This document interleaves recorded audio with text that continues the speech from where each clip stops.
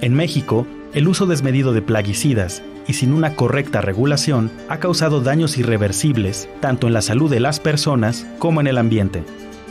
Los plaguicidas conforman un numeroso y diverso grupo de compuestos con diferentes propiedades físicas, químicas y toxicológicas, que pueden permanecer durante años en los suelos y en el agua.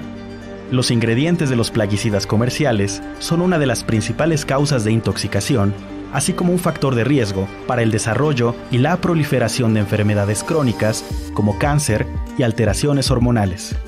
Además, una gran diversidad de organismos silvestres, incluyendo a los polinizadores como abejas y colibríes, se ha visto afectada por el uso de estas sustancias tóxicas. Todas y todos estamos expuestos a los contaminantes derivados del uso de estas sustancias. Su regulación, que incluye control, venta, distribución, uso y manejo, es imprescindible y urgente.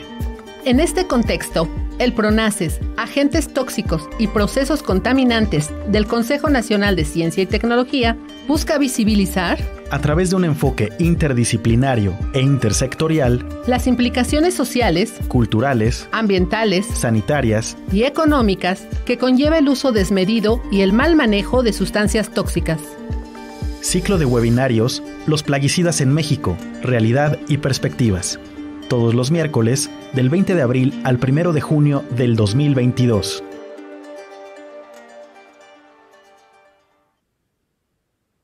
Buenas tardes. Sean todas y todos bienvenidos. Muchas gracias por acompañarnos en el cuarto webinario del ciclo Los plaguicidas en México, Realidad y Perspectivas, organizado por las y los integrantes del Programa Nacional Estratégico de Agentes Tóxicos y Procesos Contaminantes del CONACIT. Damos la bienvenida a quienes nos acompañan en esta sesión y les recordamos que la transmisión de este evento se puede seguir a través del canal de CONACIT México en YouTube y en Facebook Live. Ahí agradeceremos recibir sus comentarios y sus preguntas para nuestros ponentes. Y para dar inicio a esta sesión, cedo la palabra y doy la bienvenida a la doctora Fabiola Lara. Ella es investigadora por México, adscrita al PRONACES Agentes Tóxicos y Procesos Contaminantes, quien moderará esta sesión. Muchas gracias por estar con nosotros, doctora. Adelante, bienvenida.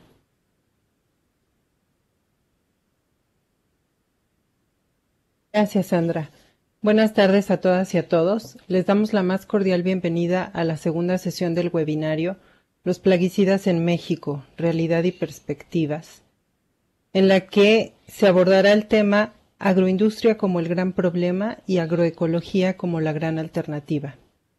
El objetivo de esta sesión es evidenciar los riesgos de la monopolización de la tierra y de las semillas, del establecimiento de monocultivos como régimen de, siembra en el país, del uso intensivo de agroquímicos comercializados por grandes multinacionales y en oposición eh, ofrecer las bondades, los efectos positivos de la agroecología para la salud, las economías locales y como pieza fundamental para garantizar la soberanía alimentaria. Nos complace tener como invitados en esta sesión a Silvia Ribeiro, directora del Grupo ETC para América Latina, miembro del comité editorial de la revista Biodiversidad, a la doctora Alma Piñero Nelson, investigadora de la Universidad Autónoma Metropolitana Campus Xochimilco, y al doctor Lev Jardón Barboya, investigador del Centro de Investigaciones Interdisciplinarias en Ciencias y Humanidades de la UNAM.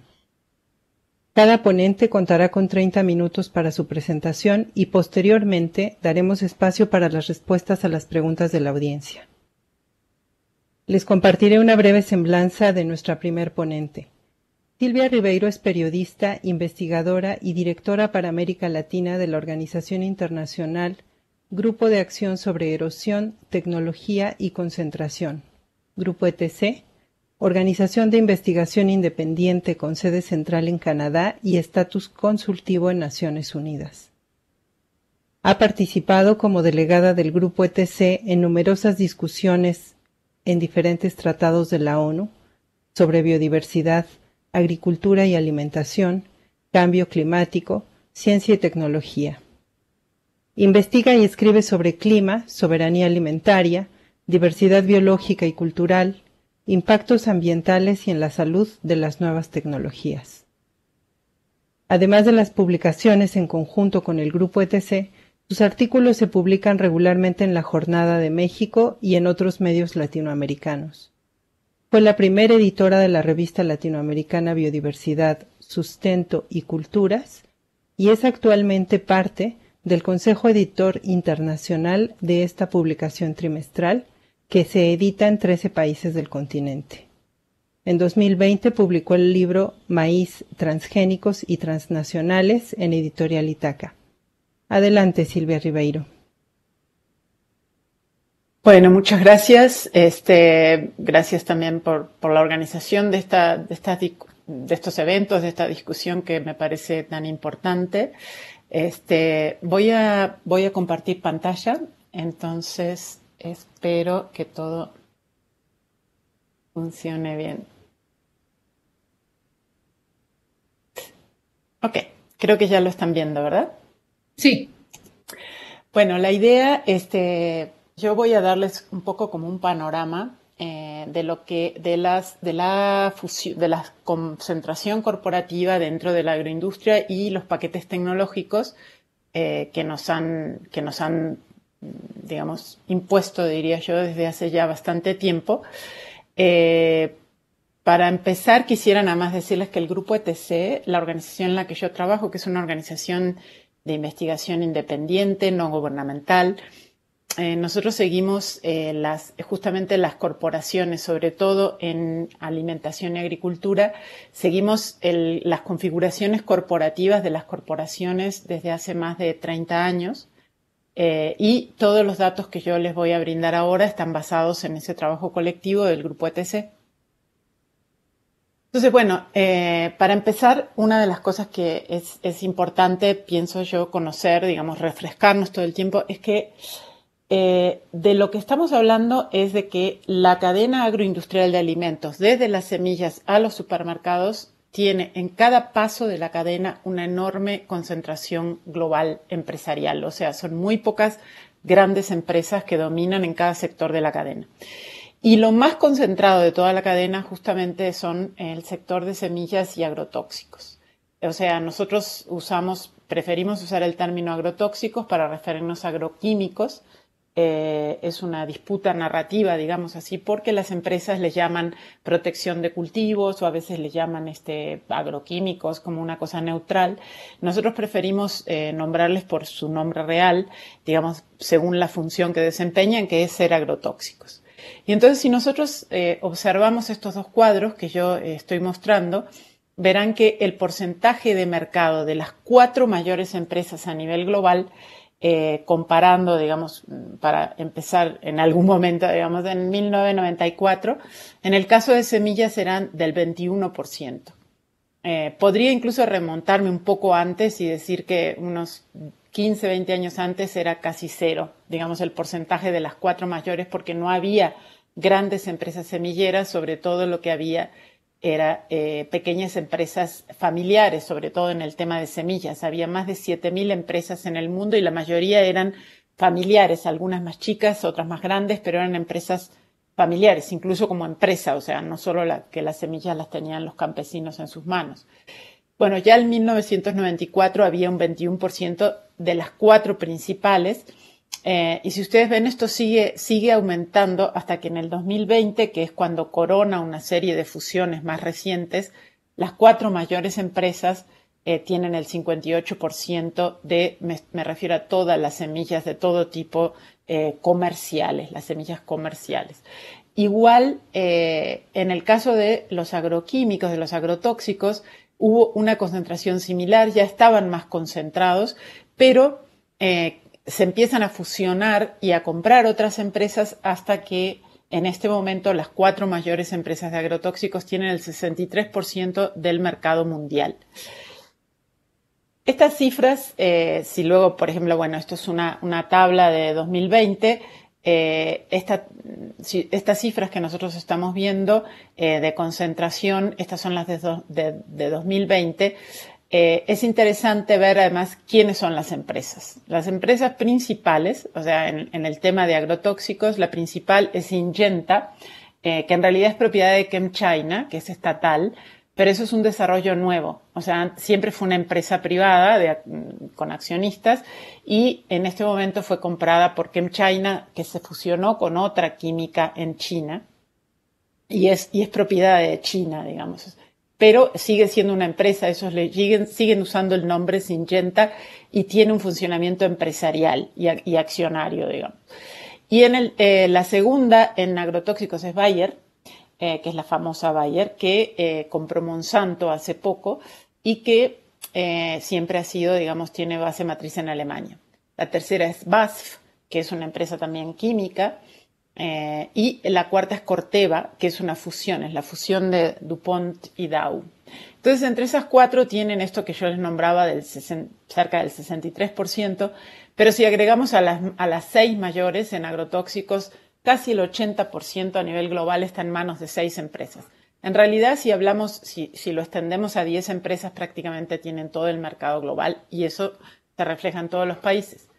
Son estas empresas, son esas empresas de agrotóxicos las que compraron las empresas semilleras. Esto es un fenómeno que se empieza a dar más o menos hace 30 años, en donde las empresas de agrotóxicos van sobre las empresas semilleras eh, para, para comprarlas. Entonces, eh, hay toda una serie, digamos, desaparecen eh, más de miles de empresas y sobre todo en los últimos años, desde el 2015 hasta ahora, se concentran aún más y en total quedan básicamente estas empresas que si se dan cuenta son las mismas, o sea, es Bayer, Corteva, Syngenta, BASF y bueno, algunas otras de que están en semillas, pero las principales son todas productoras eh, de agrotóxicos. Entonces, ¿qué pasa? Que estas cuatro empresas que están, que yo que ahora señalo especialmente, Bayer, que compra Monsanto, eh, hace poquito tiempo se, termina de consolidar en 2018, este, Syngenta, eh, que ya existía como empresa y ahora es propiedad de ChemChina, Corteva, que es la fusión de DuPont y Dow, y BASF, estas son todas empresas que desde, yo puse acá los años, ¿no? Para que vean, por ejemplo, Bayer existe desde 1863, Monsanto de 1900, Syngenta en realidad se llamaba Sandoz, es una, Syngenta es un derivado de Sandoz, este, que luego se fusiona con otras, con Imperial Chemicals de, de con, con, Seneca, justamente hemos oído mucho hasta Seneca, se fusiona con Seneca, con Ciba-Geigy hasta que llega a ser Syngenta, pero en realidad su origen es de 1886 igual que DuPont de 1800, Dow de 1897 y BASF de 1865.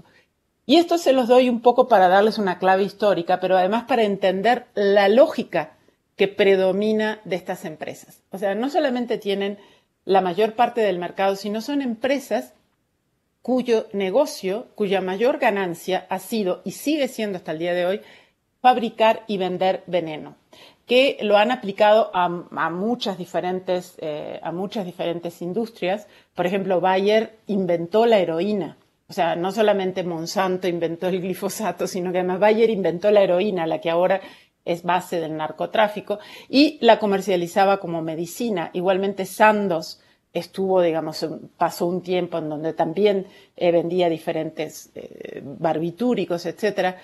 y Monsanto y Dow, por ejemplo, eh, participaron en, el desarrollo de los químicos que hacían como armas químicas que se usaron en la guerra de Vietnam. Eh, tanto el napalm como otra de las sustancias eh, que se usaron como armas químicas que se llama 245T, que ah, tuvieron un impacto devastador no solamente sobre los que estaban en la guerra de Vietnam, sino que hasta el día de hoy cuatro, cinco, seis generaciones posteriores todavía hay deformaciones genéticas eh, que tienen que ver con el uso de estos químicos. Bueno, todas estas empresas que están ahí tienen además un importante historial de crímenes ambientales, incluso de juicios que nunca terminan de cerrar. Por ejemplo, Dow es responsable de la enorme tragedia de Bhopal en la India, eh, en donde se contaminaron, digamos, y murieron miles de personas. Y en este momento mm, Monsanto está, que es quien inventa el glifosato en 1972, eh, lo inventa como un herbicida de, amplio espectro y tiene más de 100.000 juicios em, en, Estados Unidos, debido a que ellos sabían desde el primer momento que el glifosato podía tener efectos muy graves sobre la salud, incluyendo cáncer, pero de todas maneras lo comercializaron, ocultaron, este ocultaron esta información. Es la razón por la que hasta ahora Monsanto lleva perdido todos los juicios que se han presentado por glifosato en Estados Unidos es porque los, los equipos de abogados de varios de los casos, y hay tres que son los más los emblemáticos primeros, demuestran que Monsanto sabía, porque tenía documentos tempranos desde que empieza con el glifosato que el glifosato era cancerígeno. Entonces, esto es la razón por la que se ganan esos juicios, digamos, no es solo por el uso del glifosato, sino porque Monsanto lo sabía. Sin embargo, lo que quiero decir es que no es que Monsanto sea peor que las otras. Todas estas empresas que ahora son las que dominan prácticamente el 100%, el 99% de los transgénicos, que tienen de las dos terceras partes del mercado de agrotóxicos y más de la mitad de todas las semillas comerciales, tienen esta mentalidad. Su mentalidad es producir, vender veneno como ganancia y además eh, no responder, digamos, a los crímenes ambientales e incluso a la información que ya tenían desde temprano. Entonces, un poco como para decirles, no solamente hay un control de mercado, es también una mentalidad. Y por eso es sumamente grave que sean estas las empresas que se han apropiado de las empresas semilleras hasta hacerlas desaparecer. Hoy en día prácticamente no hay empresas semilleras que no sean algunas de estas, y vamos a decir tres o cuatro más, eh, que, no están en esta matriz. Entonces, bueno, ¿cuál es la meta de esa, de esa, de esa estrategia que tuvieron las empresas de agrotóxicos de largo plazo, que es comprar las empresas semilleras. Bueno, es la venta encadenada de semillas y agrotóxicos. ¿Por qué? Porque entonces lo que, lo que ven es de que aunque las semillas es un mercado mucho menor que el de agrotóxicos en volumen y, les da menos cantidad de, ganancia que los propios agrotóxicos, eh, para, las, para las empresas es fundamental tener en sus manos controlar la semilla, porque eso es algo así como el primer eslabón de toda la cadena alimentaria y aunque como volumen de venta no es muy grande, significa que controlar la venta de semillas puede también hacer que las propias empresas impongan el uso de cierto tipo de agrotóxicos. Y eso que pasaba de por sí antes de que se inventan los organismos transgénicos, con las semillas transgénicas es como el paradigma de esta relación de dependencia que está expresada incluso tecnológicamente. Entonces, ¿qué pasa? Que el uso de agrotóxicos, igual que pasa con los antibióticos, en la medida que aumentan los volúmenes de uso, se produce, este, se produce resistencia. Y en las malezas, en las hierbas invasoras, etc. Y esta resistencia hace que se tenga que usar más volumen cada vez o que haya que registrar nuevas formulaciones. Pero el registro de un químico y sobre todo en el, para que pueda tener residuos en alimentación eh, tiene un cierto proceso regulatorio. Entonces, por ejemplo, CropLife, que es la organización, la asociación de las empresas de agroquímicos en el mundo, o sea, es su propio dato, calcula en 2018 que registrar un nuevo agrotóxico eh, para ello se necesitan aproximadamente 286 millones de dólares. Eh, mientras que registrar una nueva semilla transgénica requiere 136 millones de dólares. Por otra parte, una semilla híbrida, que no sea transgénica, digamos así, eh, calculan que hay más o menos, el costo podría ser de un millón de dólares. Son diferentes años, a lo mejor hay algo de diferencia en el dato que estoy dando, pero más o menos esta es la relación. Entonces las empresas dicen, nos resulta más económico modificar las semillas que cambiar las formulaciones químicas. Y esto, por supuesto, sin cuestionar la aplicación de químicas ni los impactos que tienen en el ambiente y la salud. Digamos, yo ahora me estoy enfocando solo en, la mentalidad corporativa. Entonces, por ejemplo, el, glifosato en ese sentido es un paradigma, eh, es como un paradigma porque lo inventa Monsanto en el 74 como un herbicida de amplio espectro, como les mencionaba antes, sabe que tiene una serie de, consecuencias, pero las esconde. Pero todos los transgénicos que se crean en el mundo, eh, a partir del momento en que se, piensan que se empiezan a comercializar, que es en 1996, el, el 85% son tolerantes a este herbicida eh, que ellos ya sabían que era mm, sumamente tóxico. ¿no? Entonces, eh, lo mismo en este momento en el que estamos ahora, más del 90% de los transgénicos que hay en campo se han desarrollado para ser tolerantes de 2 hasta 12 agrotóxicos, porque han ido apilando cada vez más justamente por la resistencia que crean. ¿no? Y además, junto con este, con este proceso, digamos así, de por qué crean transgénicos, eh, los transgénicos son los que habilitan hacer patentes sobre semillas, porque antes esto no, no, no, era posible, digamos, porque no se consideraba que las semillas producidas por medio de híbridos pudieran ser patentables. Había otras formas de, había otras formas de propiedad intelectual, pero no de patentes.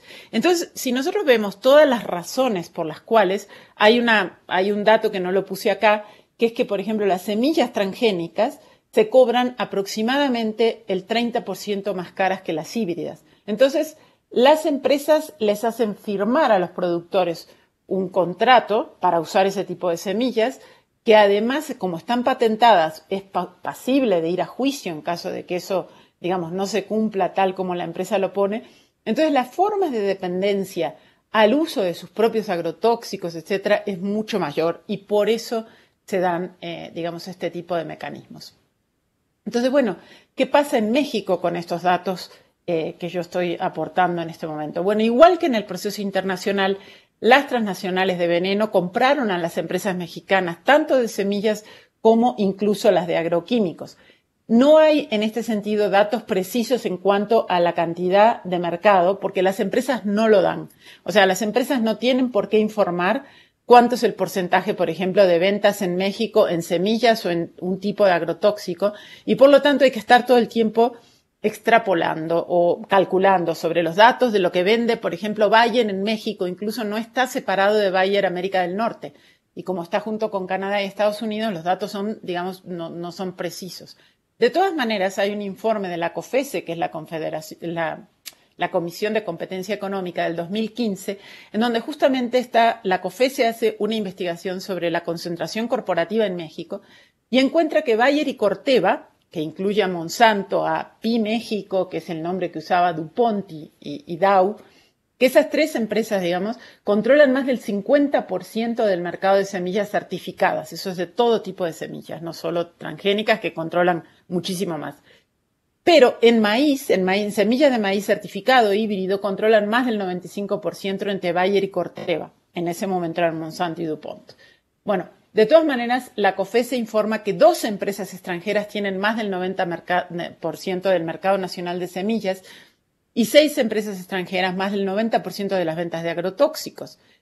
Esto se repite además en otros rubros, como por ejemplo en maquinaria, las tres mayores empresas de maquinaria a nivel global tienen el 91% de mercado de tractores. Entonces, bueno, este tipo de presencia tan fuerte de las transnacionales de agrotóxicos eh, en todo el mundo, pero además en México se manifiesta a través de, eh, o sea, ellos expresan lo que sus medidas, las presiones que hacen para obtener privilegios tanto a nivel de regulación como de mercado, como de nuevas leyes, cómo establecer garantías para sus formas de comercialización en México, eh, se manifiestan a través de, por ejemplo, estas tres empresas de cabildeo, digamos, ¿no? Uno es la que es muy paradójico porque se llama Asociación Mexicana de Semilleras, eh, es una asociación civil, eh, y yo cada vez que leo su nombre es como un chiste, porque realmente los miembros de esta empresa, aunque son más de 80, eh, los miembros de la directiva siempre están entre esas cuatro que les nombré antes. En este momento están Bayer, Corteva y Syngenta, y también está Vilmorin, que es una de las seis mayores grandes, una francesa, esta MSAC está a su vez representada en el Consejo Nacional Agropecuario. Entonces, cada vez que oímos que el Consejo Nacional Agropecuario habla en función, defendiendo los intereses de eh, la agricultura industrial, en realidad está hablando de lo que eh, este, este, que es uno de sus socios principales, le plantea. Bueno, otra institución de cabildeo en México es el PROCIT, que quiere decir Protección de Cultivo, Ciencia y Tecnología, que tiene décadas en México, pero cambió hace poco. Y justamente antes era una empresa que estaba relacionada a los que vendían también agroquímicos y semillas, pero ahora eh, de nuevo es el miembro exclusivo de CropLife en México. CropLife es la, CropLife es la, es la asociación de las empresas de agrotóxicos en el mundo, donde de nuevo están las mismas, Bayer, Corteva, Bass, Syngenta y unas pocas más. Y otra de las, de las, de las caretas, le llamaría yo, de cabildeo de estas instituciones es Agrobio, que se enfocó fundamentalmente en la promoción de los cultivos transgénicos en México y que si uno entra ve que los miembros de Agrobio son Bayer, Corteva, Syngenta, BAF, otra vez los mismos, digamos, ¿no? Entonces, bueno, quiero nombrar rápidamente que además de esta, eh, estas son corporaciones que son sociedades anónimas, entonces por lo tanto bueno, Syngenta ahora es propiedad de China, ¿no? Que es un cambio, es un cambio de los últimos años, de menos de la última década. De todas maneras, es importante entender que estas empresas, cuyo principal objetivo era vender tóxicos, además ahora tienen una participación muy importante de las gestoras de inversión, como BlackRock. Entonces, BlackRock eh, Vanguard Capital Group, que son las más grandes del mundo, eh, tienen porcentajes importantes. Por ejemplo, en el caso de, DuPont, estas son cifras del 2016, no hay cifras posteriores que nosotros dispongamos. O sea, en este momento todo lo que es información de, corporaciones eh, tiene un costo alto. Entonces cada vez ha sido más difícil porque no están obligadas a informar. En algunos casos, por ejemplo en México, no están necesariamente obligadas.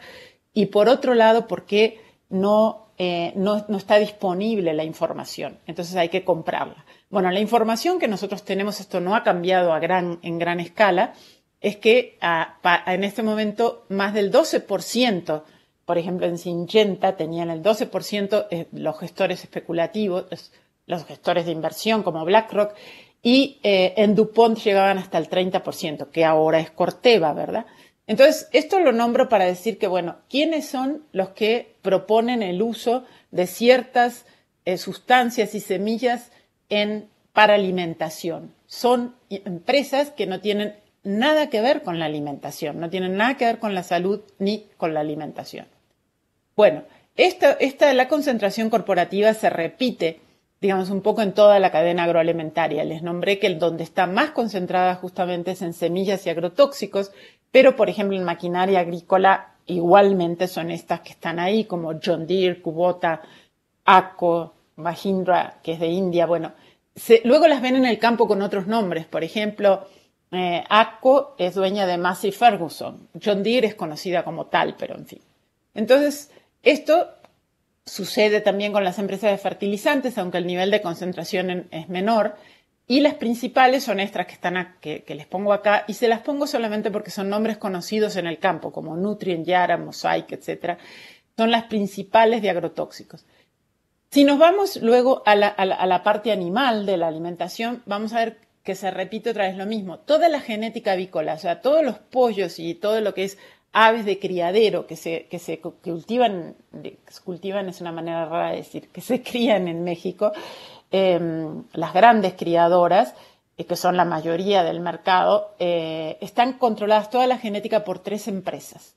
Y lo mismo pasa en gran medida con la genética porcina. Bueno, eh, se repite otra vez en el tema de las carnes, ¿no? en donde muy pocas empresas controlan la mayoría, y en el tema de comercialización de, granos, de mercado, hay siete empresas que son Cargill, Cofco, ADM, Wilmar. Cofco es China.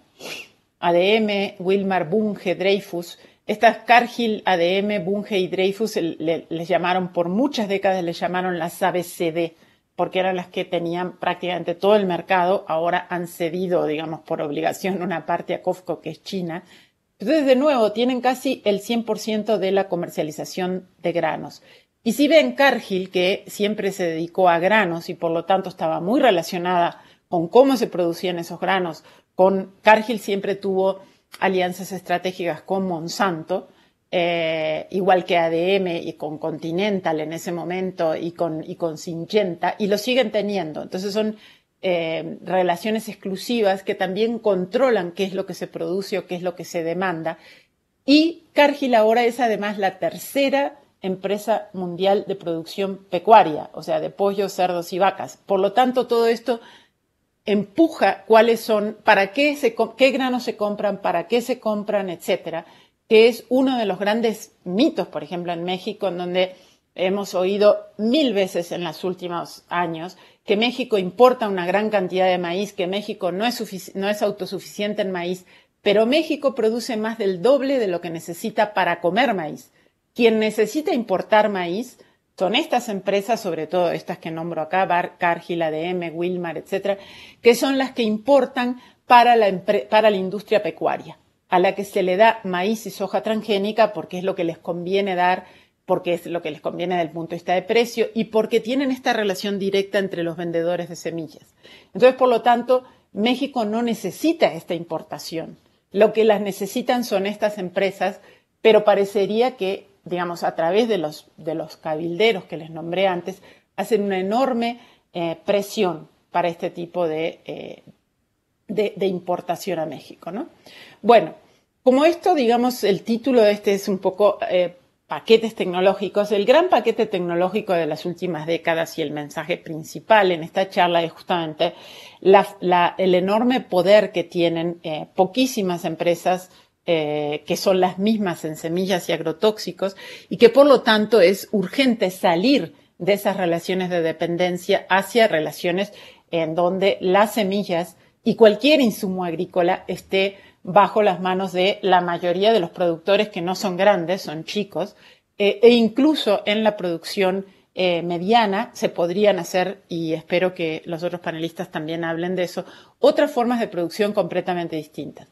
Pero en lugar de eso, estas mismas empresas a lo que van es a lo que ahora les llaman agricultura 4.0, que es la convergencia de robótica, informática, sensores con nuevas biotecnologías, automatización, etcétera, y sobre todo almacenamiento de datos, o sea, una digitalización de todos los rubros agrícolas. Eso es algo así como el nuevo paquete tecnológico que no cuestiona en absoluto el uso de plaguicidas y agrotóxicos, que es el tema central eh, de, este, este, de este ciclo, sino que al revés, o sea, esa es la imagen que quieren dar pero en realidad eh, está dedicado a aumentarlos porque son las mismas empresas. Entonces, en nuevas biotecnologías hay un tema principal, digamos, y que es el que quieren identificar eh, a la edición, lo que les llaman edición genómica, que son otras formas de ingeniería genética un poco diferentes a los transgénicos, como si no fueran transgénicos, para que estos sean más fácilmente aprobables. Y eso trae toda otra serie de nuevos riesgos, aunque de todas maneras, ya en varios países han debilitado regulaciones de bioseguridad para decir, por ejemplo, que la aplicación de otras tecnologías como CRISPR, etcétera, no son transgénicos, lo cual no, puede o no ser verdad en el sentido puede ser no transgénico, pero sí son todas ingeniería genética y, conllevan una serie de nuevos riesgos. La imagen general de estas empresas, digamos así, la nueva imagen es en la que quieren dar es la de lo que les llaman una granja inteligente. O sea, inteligente según las corporaciones, que significa el digitalizar todo lo más posible a nivel del campo, sea tanto por, digamos, el registro de eh, las propiedades, la producción, la comercialización, etcétera. Eh, incluso hay todo lo que le llaman el Internet de las vacas o el Internet de los puercos, etcétera, en donde lo que ha pasado en los últimos años y sobre todo con la pandemia se ha aumentado es la entrada, además de las empresas que yo nombré muy rápidamente, la entrada en agroalimentación de las empresas digitales. Y estas empresas además tienen un enorme poder porque están todo el tiempo sacando datos. ¿eh? Estos datos sobre todo lo hacen a través de nuevas plataformas empresariales digitales que ofrecen las mismas empresas, acá les pongo los nombres de las plataformas, por ejemplo, y quiénes son las empresas que están detrás, y de nuevo se repiten las mismas empresas, más las digitales, más las de fertilizantes, más las de maquinarias, en donde se han fusionado para, para esta nueva propuesta que es proponer de que todos los agricultores grandes, pero también los chicos, eh, contraten los servicios, por ejemplo, de estas plataformas. ¿Y por qué? Porque, bueno, el dato principal, lo que más les interesa, son los datos de producción y de territorio, de agua, de recursos, de transporte, que almacenan en grandes nubes y esas nubes a su vez se lo vuelven a vender. ¿Y a quién se lo venden? A las, semilleras, a las de cereales, a las empresas alimentarias, etcétera, para aumentar sus mercados. Entonces, bueno, un poco como resumen las cosas que nombré, eh, es que hay una, hay, es importante tener en cuenta que parte de la, digamos, cuando hablamos de plaguicidas, también estamos hablando de agentes que no tienen nada que ver con la alimentación eh, y sí con otros intereses, que, también avanzan eh, en el tema digitalización, en donde las más grandes, los que les llaman los titanes tecnológicos de la digitalización, empiezan a tener una gran cantidad de mercado y como un cuello de botella de tecnologías que vienen del campo y que eh, controlan, digamos así, ese tipo de información. Entonces, quiero decir, con un poco a, modo de resumen, que las transnacionales y sus paquetes tecnológicos, esto aunque no lo, no lo planteé específicamente ahora, son han convertido, digamos, la producción agrícola y alimentaria en uno de los mayores problemas de salud de las personas y del planeta, o sea, de problemas ambientales. Están vinculados a las principales enfermedades, son el mayor factor de cambio climático y es uno de los principales causantes del colapso ambiental global debido a la contaminación química, a la erosión de suelos, al agua, a la biodiversidad, etc. Esta, esta relación significa que por cada peso que nosotros pagamos en alimentos a la cadena industrial, la sociedad o nosotros mismos pagamos dos pesos más por los daños ambientales y de salud. Esto es un cálculo del grupo ETC que fue refrendado exactamente en la misma proporción por la Fundación Rockefeller el año pasado en un estudio de ellos, no, no refrendando el nuestro, sino que hicieron el mismo estudio y llegan a exactamente la misma percusión. Por cada peso que nosotros pagamos en una comida industrial, empaquetada, etcétera, pagamos dos pesos más por daños de salud y ambientales. Y además no alimenta a la mayoría porque la cadena alimentaria agroindustrial, esta que está dominada por las transnacionales, en realidad sí se saca todo lo que produce en enfermedad, en obesidad, en, desperdicio alimentario, en, en, gastos de energía, en transporte, etcétera, equivale digamos, solamente a un 30% de la población mundial, aunque usa más del 75 al 80% de los recursos. Y por Tres lo tanto, minutos, doctora. Gracias, sí, estoy en eso, terminando. Entonces, por lo tanto, solo para recordarnos que además de este contexto, digamos, que estamos hablando de los efectos sobre la salud, sobre la dependencia que generan eh, eh, a los países, la dependencia alimentaria, no son los que alimentan a la mayoría de la población. La mayoría de la población mundial, hasta el 70%, se alimenta como puede, no necesariamente tiene suficiente alimentación, pero se alimenta en su mayoría lo que puede de la producción de pequeñas y pequeños, eh, de pequeñas y pequeños productores, que sean campesinos, indígenas, abajo lo explico. De 35 a 45 en parcelas campesinas, de 15 a 20%, que es muy significativo en huertas urbanas, y el resto en pesca artesanal, en caza, recolección, etcétera, en formas tradicionales. Y que están muy mal, son la población más pobre porque no tienen suficiente tierra, porque trabajan con el menos del 25% de la tierra y el agua, esto a nivel global. Entonces, bueno, eh, eso es un poco lo que eh, quería compartir y les dejo aquí ah, un par de documentos que contienen mucha de la información que estuve mencionando y hay otros que pueden conseguir para tener datos más precisos en el sitio del grupo ETC, este que es el que está ahí en la pantalla. Muchas gracias. Agradecemos a Silvia Ribeiro su participación. A continuación, eh, vamos a dar paso a nuestra siguiente ponente, para lo cual voy a leer una breve semblanza. La doctora Alma Piñeiro Nelson es licenciada en Biología por la Facultad de Ciencias y doctora en Ciencias Biomédicas por el Instituto de Ecología de la UNAM. Actualmente es profesora investigadora y jefa del Departamento de Producción Agrícola y Animal de la UAM Xochimilco. Es miembro del Sistema Nacional de Investigadores Nivel 1. Especialista en biología genética, investigadora de los efectos de la diseminación del maíz transgénico en México y del uso del glifosato sobre el mismo cultivo. Ha colaborado en la identificación de maíz transgénico en poblados rurales y urbanos de la región Purépecha en Michoacán. También ha colaborado en otras investigaciones publicadas y direcciones de tesis de licenciatura a doctorado. Actualmente colabora también con colectivos campesinos en Oaxaca y Tabasco y se desempeña como consultora del INEC para diseñar el montaje de técnicas de detección de, de transgenes en maíz. Adelante, doctora Piñeiro. Eh, hola, buenas, buenas tardes. Muchas gracias por la invitación. Este, me dio gusto que, me antecediera Silvia Ribeiro porque eh, me va a facilitar la presentación. Varias cosas de contexto, ellas las explicó, te explicó mejor de lo que lo haría yo. Entonces, este, yo voy a hablar en particular de, eh, si bien mi presentación se llama Uso de OGMs, implicaciones para la salud y la soberanía alimentaria, lo voy a aterrizar en un estudio de caso, enfocándome a maíz en el contexto de nuestro país. Eh, no sé si ya se ve mi presentación. Sí se ve. Bien, entonces eh, la manera en la que organicé esta, este seminario, bueno, esta presentación mía es eh, en tres secciones. La primera va a ser sobre OGMs y maíz y la presencia de transgenes en campo y alimentos este, de en México. Dos, el vínculo de esta situación con la soberanía alimentaria y tres, eh, diferentes elementos que podrían eh, ayudar a fortalecer la soberanía alimentaria en nuestro país.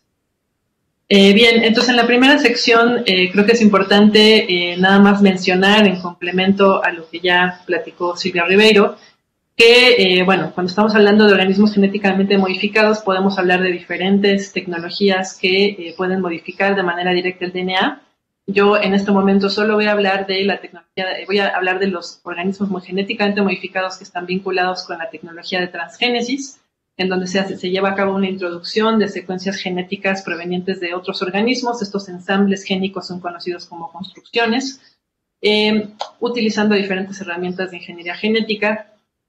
Eh, este tipo de manipulaciones directas del DNA eh, se hacen bajo una visión aditiva del genoma, es decir, el conjunto de genes que tienen los organismos y han sido exitosas para la introducción de rasgos simples, es decir, aquellos rasgos en donde un gen codifica para una proteína que puede generar una nueva capacidad en la planta em, que, que, tiene ahora este ensamble transgénico que se llama construcción recombinante. Eh, en este contexto nada más es importante mencionar eh, que este tipo de organismos genéticamente modificados en agricultura eh, han sido introducidos a gran escala en el ambiente a nivel mundial desde 1996 y los últimos datos que tenemos disponibles nos dicen que arriba del 90% de estos cultivos genéticamente modificados, donde los cuatro grandes, como se les ha llamado, digamos, históricamente es la soya, maíz, algodón y canola genéticamente modificados. Eh, estos ocupan más del 95% del hectareaje de cultivos transgénicos a nivel mundial. Este, y de estos, el 90% tienen, tienen tolerancia a la utilización de glifosato eh, como herbicida de preferencia. Y actualmente la mayoría de los cultivos genéticamente modificados transgénicos eh, son ya de tipo apilado, en donde se tienen múltiples rasgos, eh, como puede ser tolerancia al glifosato, puede ser tolerancia al glifosinato. Ya hay aprobados en Estados Unidos y utilizados en Estados Unidos maíces transgénicos que, por ejemplo, tienen eh, tanto tolerancia al glifosato como tolerancia a dicamba o a 2,4-D. Y este, muchas veces también esto viene aparejado a resistencia a cierto tipo de insectos a través de la producción de proteínas de tipo CRI. Eh, entonces, bueno, el, eh, cultivo, la especie, eh, digamos, transgénica que más se cultiva a nivel mundial es soya, pero seguida de manera cercana por maíz. Y también algo que es importante mencionar de este tipo de cultivos es que están altamente concentrados. Aquí en el lado derecho hay un pequeño histograma que nos muestra que el principal país que cultiva cultivo, eh, eh, que tiene el mayor hectareaje de cultivos genéticamente modificados a nivel mundial es Estados Unidos, nuestro vecino del norte, seguido por Brasil, luego Argentina, Canola, India, estos son datos del 2019, que son que encontré más recientes, eh, y de las alrededor de 190 millones de hectáreas sembradas con cultivos transgénicos en ese momento, Estados Unidos concentraba el 71.5% y la mayoría de ese hectareaje es con soya, pero si eran 35 millones de hectáreas sembradas con soya transgénica en Estados Unidos en el 2019, 33 millones de hectáreas estaban sembradas con maíz transgénico Este, y esto representa el 95% del maíz que se siembra en Estados Unidos. Entonces, eh, no voy a abundar en el tema, eh, pero creo que algo que es importante señalar en el contexto del webinario del día de hoy es que estos organismos genéticamente modificados, en particular estos transgénicos, eh, son un tipo de tecnología que incrementa el control sobre la cadena de suministro de semillas y agroinsumos, como ya vimos con la ponente anterior, y esto lo logran a través de diferentes estrategias legales y prácticas. Una de las estrategias legal importante es que las secuencias transgénicas están patentadas, las construcciones recombinantes están bajo derecho de patente y el eh, trasfondo genético junto con la construcción recombinante es lo que se patenta. Como ya se nos mencionaba en la intervención anterior, esto implica una privatización de facto de la semilla eh, transgénica y del organismo en sí mismo. Eh, otra cosa importante es que los OGMs más exitosos, de nuevo de utilizando la tecnología de los transgénicos desde 1996 a la fecha, este, son usados comúnmente con un eh, paquete tecnológico que incluye semillas, diferentes agroinsumos y pesticidas.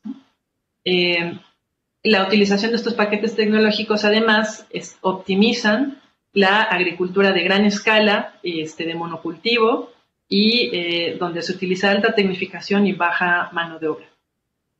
Entonces, ¿por qué este tipo de eh, situación es importante para nuestro país?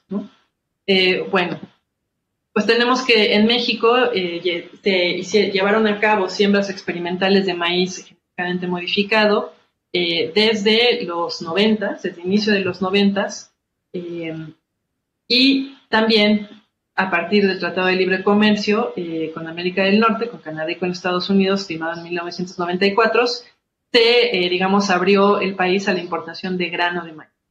Eh, esto fue un proceso progresivo donde se fueron quitando aranceles a la importación de grano, en particular al, grano eh, de maíz amarillo, que como señalaba la ponente anterior, es, es, del cual somos, digamos, dependientes, dada la necesidad de este grano para sobre todo uso pecuario e industrial. pero entonces esta liberalización progresiva en la importación de grano desde 94 a la fecha, ha eh, representado un influjo constante de este tipo de grano. México no pide que se segregue el grano en función de si es transgénico o no. Este, y también tenemos el contexto, y por eso este mapa de una parte de nuestro país en esta diapositiva. Eh, tenemos dos momentos en donde eh, de manera legal se llevaron a cabo siembras experimentales de maíz transgénico con diferentes características, ya fuera tolerancia a diferentes tipos de herbicidas y pesticidas, ya fuera resistencia a insectos. El primer periodo va de 1992 a 1999.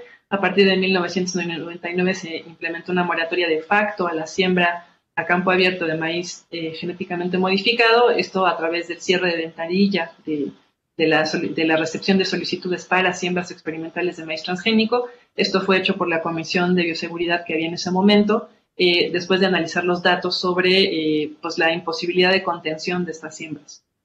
Un segundo momento eh, que eh, sigue a la aprobación de la Ley de Bioseguridad de Organismos Genéticamente Modificados, que es este, la normativa central que tenemos en el país para regular el uso de este tipo de organismos, es a partir de, es entre el periodo de 2009 a 2013, en donde también se aprobaron este, un cierto número de siembras de eh, maíz transgénico, sobre todo en el norte del país. Y aquí se ilustra brevemente al respecto. Entonces, algo importante es eh, por qué este tipo de siembras resultan problemáticas en un país como México. Eh, primero, porque México es un país que tiene una muy alta diversidad de maíces nativos. Eh, recordemos que México es el centro de origen de la especie biológica que dio origen al maíz cultivado y también es el centro de domesticación y uno de los principales centros de diversificación de este cultivo. tenemos alrededor de 64 razas nativas y miles de variedades. Actualmente aquí es un mapa actualizado de la Conavio en donde cada punto representa una colecta de una eh, raza específica de maíz nativo y como podemos ver pues está a lo largo y ancho del país, exceptuando algunas zonas eh, como los desiertos en donde pues no se puede cultivar. Y algo que es importante también recalcar y por eso el énfasis en este cultivo como un ejemplo paradigmático de este, los conflictos de introducción de ciertas tecnologías en este caso transgénicas, a un territorio específico, es que el maíz es, la base de la dieta eh, de los mexicanos, ¿no? Y tiene un, entonces, por lo tanto, tiene una importancia alimenticia, una importancia cultural y simbólica, también social, muy importante. Eh, en este contexto hay que mencionar que la primera liberación comercial a gran escala de maíz genéticamente modificado en Estados Unidos fue en 1996 y si bien en el 99 ya había una moratoria de facto a la siembra de maíz transgénico este, en nuestro territorio, eh, para, para el 2001 se había reportado el primer caso de presencia de transgenes en maíces nativos eh, de México, de una colecta hecha en el año 2000. A partir de ahí se hicieron diferentes esfuerzos de biomonitoreo, eh, tanto por eh, grupos de académicos, instancias gubernamentales, también grupos de la sociedad civil, en particular eh, diferentes asociaciones civiles de campesinas que trabajan con grupos campesinos. Y lo que, lo que resultó de esto es que estos esfuerzos de biomonitoreo, si bien apuntaron a la presencia de transgenes en diferentes partes del país eh, en maíces nativos, que era el enfoque. Eh, era un tipo de biomonitoreo que tenía un eh, criterio de muestreo muy heterogéneo, tenía esfuerzos de muestreo, es decir, cuántas mazorcas se recolectaban por parcela o cuántos granos se recolectaban por este, silo, muy heterogéneo entre sí, también cuántas parcelas se recolectaban por comunidad o por localidad, y por lo tanto hacía eh, muy difícil el comparar los datos obtenidos a través del tiempo desde 2001 hasta, la, hasta, eh, hasta el 2016. Eh, en este contexto, participamos de una consultoría hacia el Instituto Nacional de Ecología y Cambio Climática que fue liderada por la doctora Elena Álvarez Bulla, en donde participamos un conjunto de académicos de diferentes estados de la República, Oaxaca, Veracruz, Michoacán, eh, Chiapas, este, con la intención de generar una línea base, eh, un criterio de línea base para poder llevar a cabo un muestreo que fuese representativo este, del maíz nativo que tenemos en el país. Eh, se, generó a través de la doctora Carolina Ureta y el doctor Edgar González, Luciana González, un algoritmo de muestreo en donde se tomó en cuenta la superficie de agricultura de temporal, según las bases de datos de INEGI-SIAP, la presencia de el registro de maíces, de presencia de maíces nativos eh, con base a, a, la base de datos de Conavio, se llevaron a cabo valores ponderados de presencia de maíces nativos en la agricultura de temporal y se hizo un esquema de muestreo que fuera eh, que tuviera una resolución a nivel estatal. A partir de ahí, entre 2017 y una parte de 2018, se llevó a cabo un esfuerzo de colecta en estas eh, cinco entidades federativas sobre todo enfocado a aquellas que tienen alta diversidad de maíces nativos. Y lo que encontramos es que del total de la colecta hecha, eh, encontramos un 8% de eh, maíces, bueno, de muestras de maíz nativo que eran positivas para la presencia de uno o más eh, transgenes o secuencias génicas, el 92% resultó negativo.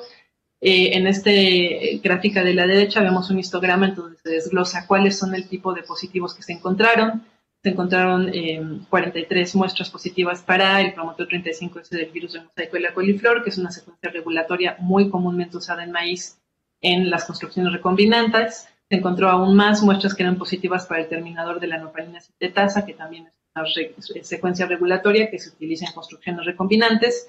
Y luego, a nivel de eventos específicos, encontramos eh, pocos maíces que fueran eventos Em, este, estos datos están eh, detallados en el informe final de esta consultoría que cito acá abajo. Em, también otra cosa es que no solo analizamos la presencia de transgenes en estas muestras colectadas, sino una vez más, como el esquema de muestreo estaba hecho con base en los datos disponibles para ser este, representativo de la agricultura de temporal de maíz en México, bajo la hipótesis de que la mayoría de los maíces nativos se siembran en agricultura eh, de, temporal más que de riego. También teníamos una representación geográfica amplia y aquí estoy mostrando nada más eh, los datos para Oaxaca, Chiapas y la Ciudad de México. Las localidades que se mostraron son las que están en negro. en algunos casos en campo se tuvieron que hacer ajustes porque no en todas las localidades había maíz. En algunos casos había problemas con las bases de datos y en vez de encontrar maizales encontrábamos naranjales. Y eh, con estrellas rojas es los lugares en donde encontramos eh, muestras positivas. Eh, a partir de estos datos hemos hecho un trabajo más minucioso de análisis de los datos en un contexto ya este, espacial explícito, haciendo trabajo de minería de datos liderado por la doctora Carolina Ureta. este, de la UNAM, en donde hemos analizado qué factores ambientales y sociales pueden estar eh, favoreciendo la dispersión de transgenes hacia maíces nativos. Eso es trabajo que está en, visos de publicarse y eh, tenemos algunas pautas que nos quieren eh, cosas.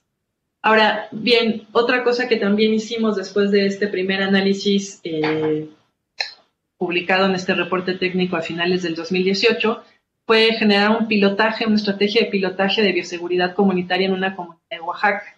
Lo que hicimos fue regresar a una comunidad del municipio de Santa María Chachuapan, este, en la Mixteca Alta Oaxaqueña, eh, donde previamente habíamos encontrado eh, muestras positivas para la presencia de transgenes en maíces nativos y llevamos a cabo un mapeo, esto es la tesis de eh, maestría de un estudiante mío, Heriberto Vázquez, un mapeo territorial participativo, hicimos hemos elaborado diferentes talleres de intercambio de saberes y estamos en el curso de hacer el análisis molecular de un censo de maíces locales de la cosecha del, 2021, ya que yo lo llamo censo porque pudimos colectar más del 90% de este, las parcelas que fueron sembradas con maíz en la localidad eh, en donde estamos haciendo el pilotaje y la intención de esto es, dada los resultados que encontrábamos en la última colecta del 2017, la distribución de presencia de transgenes en diferentes eh, maíces nativos en diferentes localidades de Oaxaca, Chiapas, Ciudad de México Michoacán y Veracruz. Eh, pensamos que más allá de lo que están haciendo las eh, autoridades competentes, que en esta nueva administración tienen un enfoque mucho más precautorio de lo que se venía dando originalmente, porque en realidad autoridades anteriores eran más bien promoventes del uso de maíz genéticamente modificado y otro tipo de OGMs. nos parece importante poder realizar estrategias de bioseguridad comunitaria que vayan, digamos, de abajo hacia arriba, y eh, el enfoque es, desde el punto de vista de aquellos que estamos especializados en técnicas de biología molecular, poder eh, proveer de información técnica a eh, las comunidades para que se puedan tomar decisiones comunitarias de cómo manejar y qué hacer cuando se encuentran transgenes en algunos acervos de, maíces nativos. Entonces, esto es un trabajo todavía en, en eh, y se refiere a lo que encontramos en campo en maíces que son percibidos como, que son manejados como nativos por los propios agricultores de pequeña escala. Em, otra cosa que también en la que participamos fue entre el 2014 y 2016 en un análisis de la presencia de maíz transgénico en alimentos procesados este, derivados de maíz en México. Eh, tuvimos más de 360 eh, muestras de diferentes tipos de alimentos y con base en los análisis moleculares encontramos que el 82% de estas muestras eran positivas a uno o más transgenes. Además, y esto nos vincula con la parte de cómo eh, habitualmente estos maíces, el maíz transgénico está íntimamente ligado con un paquete tecnológico que incluye al menos el uso de glifosato, encontramos que en un tercio de las muestras de alimentos positivas para eventos de resistencia a glifosato cuando hablo de eventos de resistencia al glifosato, estoy hablando de los eventos de maíz transgénico que fueron modificados genéticamente para resistir este tipo de agrotóxico, presentaron residuos de este agrotóxico o de su derivado, eh, que es el AMPA. Estos datos son de, de, una colecta amplia hecha entre 2014 y 2016, liderada por Emanuel González Ortega y también Elena Álvarez Bulla, sin embargo, lo que vemos es que en una colecta mucho más pequeña hecha con base a muestras de masa en dos municipios de Michoacán, eh, uno eh, básicamente urbano y varias otras localidades más bien rurales, encontramos que de las 63 muestras de masa analizadas, 41.27 eran positivas para uno o más transgenes de los que analizamos en ese momento, que solo fueron las secuencias regulatorias 35S y eh, del virus de mosaico y la coliflor determinador NOS. Eh, y encontramos que la mayoría de las muestras positivas eran de tortillerías de eh, la zona urbana de Uruapan. Entonces, esto, esto que nos sugiere, nos sugiere que este influjo continuo de ya sea maíz, de, de grano de maíz genéticamente modificado, ya sea eh, utilizado directamente por las grandes empresas que eh, generan harina industrial para generación de tortillas, o ya sea del maíz que entra a través de la frontera eh, y que luego es distribuido a lo largo y ancho del país, a, lo largo de, por parte de diferentes importadores de grano está, sigue acabando en la cadena alimenticia humana. Ahora, ¿esto qué vínculo, este fenómeno particular del maíz, eh, como ya mencionaba, pues es un cultivo paradigmático, de México y es la base de la alimentación de la mayoría de la población mexicana, por lo tanto, este tipo de este, eh, situaciones pueden ser problemáticas eh, para cuestiones de alimentación. ¿Cuál es el vínculo con la soberanía alimentaria? Lo que vemos es que eh, en México tenemos, una tenemos importación de grano de maíz en México y esto genera dependencia y un crónico influjo de transgenes. Eh, ahora bien, como también matizaba, eh, es importante matizar, como mencionaba Silvia Rivero en su intervención anterior, que en realidad México es autosuficiente, autosuficiente en la producción de maíz blanco, que es el de consumo humano. Sin embargo, somos deficitarios en la producción de maíz amarillo, que como también mencionaba mi colega, es utilizado principalmente para eh, alimentación de ganado eh, y también pollos, también para fines industriales y algo importante que nos sugieren los datos que tenemos sobre presencia de transgenes en alimentos para consumo humano en nuestro país desde 2014 hasta la fecha, es que está acabando también en la cadena alimentaria humana. Y lo que tenemos, además, eh, aquí vemos una gráfica del lado izquierdo donde nos muestra pues, cuál es la producción de maíz amarillo y cuál es la, este, el consumo eh, nacional aparente, ¿no? Y tenemos un gran déficit. Este déficit es paliado por importaciones. Importamos casi todo el maíz hacia México de Estados Unidos y es importante eh, eh, enfatizar que hoy por hoy el 95% del maíz transgénico que se siembra en ese país es, perdón, el 95% del maíz que se siembra en Estados Unidos es transgénico y la gran mayoría resistente al glifosato. Y lo que vemos es que en 2021 tuvimos una, récord de importaciones con 16.49 millones de toneladas de grano de maíz este, importado, que además está cada vez más, eh, es cada vez más costoso y le cuesta más al erario público. Entonces, tenemos esta situación de dependencia a este maíz amarillo para fines industriales y con esta dependencia y la falta de monitoreo de lo que entra por nuestras fronteras, pues un influjo constante de grano de maíz. Eh, esto es una tendencia que ha sido una tendencia histórica desde finales de los 90 hasta la fecha.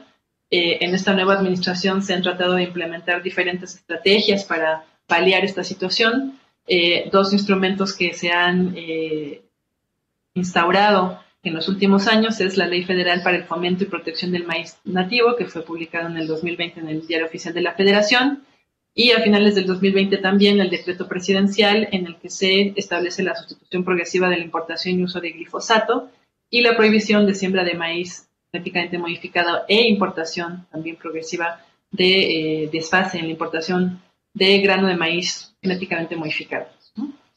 Em, en este, eh, si bien estas normativas son importantes, pues también hay que considerar el problema práctico de con qué se van a sustituir las importaciones.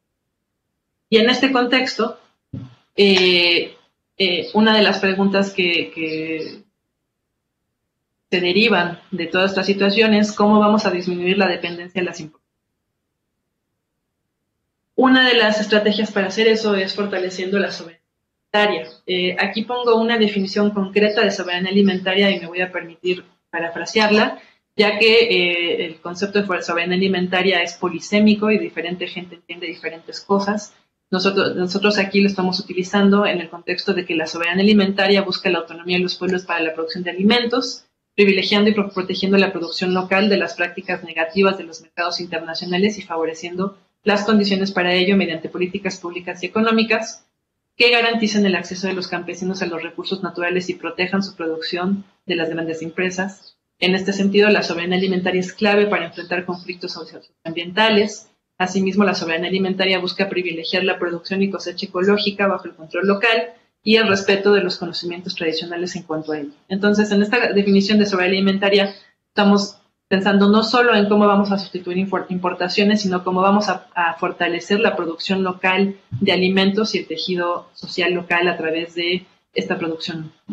Y eh, bueno, esto, este trabajo que voy a presentar, esta parte de la presentación deriva de un eh, eh, proyecto financiado por CONACYT, en donde un grupo de académicos de la UAM Xochimilco, este, eh, Mariela Fuentes, Antonio Flores y, Luis Rodríguez, junto con la servidora, hicimos un análisis para el Pronaces de Soberanía Alimentaria de CONACYT.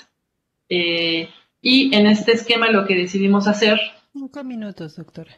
Sí, gracias. Lo que hicimos fue, ahorita regreso a esta, era preguntarnos cómo podíamos fortalecer la soberanía alimentaria en las diferentes regiones del país.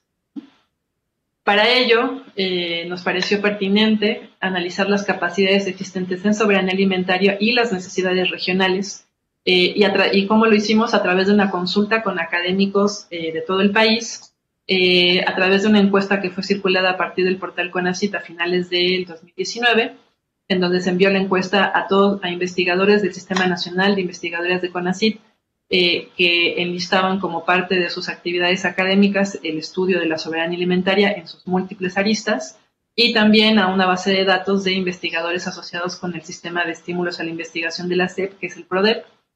Eh, estos investigadores se agrupaban en grandes categorías, algunos enfocados en la producción agrícola, otros en la nutrición y calidad de los alimentos, servicios ecosistemas, ecosistémicos, producción pecuaria, rescate y conservación de prácticas tradicionales, economía agrícola y campesina, organización social, derechos humanos y otras áreas que representan una minoría de, todas las áreas desde donde se puede buscar el fortalecimiento de la soberanía alimentaria. Entonces, lo que encontramos es que de eh, esta base de datos o este universo de investigadores a los que se le mandó la encuesta, 552 investigadores contestaron eh, estos representaban a 139 instituciones y el 12% del total encuestado. Y lo que encontramos aquí eh, eh, fue algo bastante sugerente. Entonces aquí tenemos un heatmap en donde lo que estamos viendo son diferentes temas que previamente habíamos detectado como importantes y que podían este, disminuir la soberanía alimentaria, como es la pérdida del tejido social, el uso de ineficiente de fertilizantes y pesticidas, la incidencia de plagas y enfermedades, la pérdida de biodiversidad, problemas en la nutrición animal, eh, los aranceles a ciertas importaciones, eh, la producción de semillas, eh, alimentación insuficiente del ganado, falta de pies de cría de diferentes animales de engorda, alimentos dañinos, cambio climático, riego y tecnologías, es decir, problemas en el riego y tecnologías de uso eficiente del agua, la degradación de los suelos y la transferencia tecnológica a pequeños productores. Y lo que encontramos, y aquí está, esto está, este heatmap está puesto en las diferentes regiones en las que el propio CONACIT divide a nuestro país, eh, lo que encontramos es una tendencia generalizada eh, en donde las cosas que consideraban más urgentes de eh, solucionar desde una perspectiva de fortalecer la soberanía nacional, la soberanía alimentaria nacional a través del fortalecimiento de la soberanía alimentaria regional y local, era que eh, lo más importante era los alimentos dañinos, el cambio climático, el riego y eh, tecnologías de riego y nuevas tecnologías para hacer más eficiente el uso de agua, eh, degradación de suelos, como un problema importante para la soberanía alimentaria, y una carencia de tecnologías que puedan ser transferidas a, los pequeños productores. Después encontramos algunas cosas que eran específicas de ciertas regiones, por ejemplo en el sureste y suroeste, nada más por mencionar un caso, eh, se consideró como muy importante la pérdida de conocimiento ancestral. Entonces, en este contexto también, y en el entendido de que la soberanía alimentaria solo la vamos a poder fortalecer entre eh, la conjunción de, de, la actividad de diferentes actores, hicimos también una encuesta a diferentes organizaciones de la sociedad civil vinculadas con la soberanía alimentaria, y lo que encontramos es que las principales problemáticas a atender son comunes a las que fueron percibidas como las problemáticas centrales, según la encuesta hecha a colegas académicos. Sin embargo, había diferente nivel de prioridad. Para las organizaciones, la pérdida del conocimiento tradicional y la degradación del suelo son las principales problemáticas que hay que atacar, mientras que para los investigadores, la transferencia de tecnología con métodos participativos a pequeños productores y el cambio climático, eh, con todo lo que esto engloba, son las principales problemáticas a eh, abordar para fortalecer la soberanía. Entonces, en este contexto y con esta, esta diapositiva termino, eh, nos parece que es urgente entender las cadenas de abasto y distribución de grano de maíz, así como las dinámicas agrícolas que pueden incidir en la introducción de transgenes hacia las variedades nativas de maíz y, sus y los alimentos derivados de estas también a la cadena de eh, producción de alimentos eh, industriales derivados de maíz en México, Evaluar, por lo tanto, de manera sistemática la presencia de glifosato, AMPA y otros agroquímicos en el alimento base de gran parte de la población de nuestro país. Evaluar los efectos a la salud del consumo de maíz eh, genéticamente modificados, como otros académicos han mencionado. Tenemos una manera muy particular de consumir maíz que es crónica y durante toda la vida. Y pesticidas. Cuestionar el modelo productivo relacionado con el maíz y otros elementos estratégicos y también afinar la estrategia de fortalecimiento de la soberanía alimentaria regional, considerando la experiencia, capacidades ya instaladas e infraestructura de instituciones de investigación. Y bueno, con esto cierro y eh, este trabajo que sinteticé en esta charla en realidad fue el esfuerzo de colaboración de muchos colegas de diferentes instituciones y eh, fue eh, apoyado por diferentes instancias financiadoras. con esto terminaría. Gracias.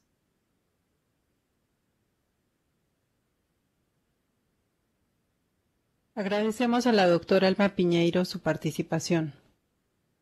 A continuación daré lectura a una breve semblanza del doctor Lev Jardón Barboya.